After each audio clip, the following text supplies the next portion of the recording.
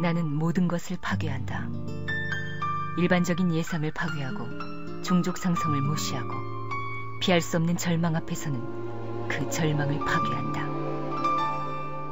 사이언 MSL 최종 결승전. 난 또다시 무엇인가를 파괴할 것이다. 너무 쉽게 바라고 너무 쉽게 예상하는 많은 사람을 비웃으며 마신 저그의 마에스트로 그리고 패왕 무엇이 되어도 나의 파괴는 끝나지 않을 것이다.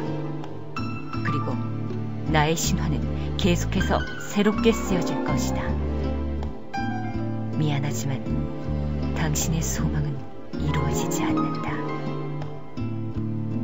2006년 1월 14일 광주 염주체육관 5시 CYON MSL 결승전